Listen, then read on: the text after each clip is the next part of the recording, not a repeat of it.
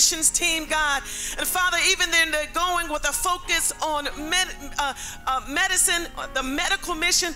God, I thank you that you know how to bring them in like a stealth bomber, God. And so, Father, in Jesus' name, they're going to take over, Father, for the kingdom of God, that it will be the number one religion, hallelujah, in Kenya, in the name of Jesus, Christianity. Christ, the number one. Amen. We thank you in the name of Jesus that everyone will have a singleness of mind and a singleness of heart, God. Father, we thank you, Father, for that as they hit the ground, Father, that even that those that are hosting, God, that they will all line up according to your purpose and your plan, and everything will go as you have designed it to go. We thank you, Father, for every soul. We thank you, Father, for every life that's going to be changed. We thank you, Father, for the healings that will miraculously take place, God. We thank you, in Jesus' name for the for the restoration that you're bringing and the encouragement that you're bringing to Kenya, God.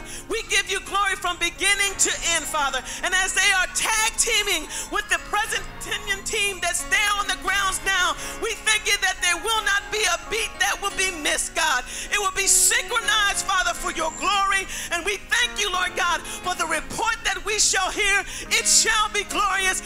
It shall due your name. We thank you, God, in Jesus' name.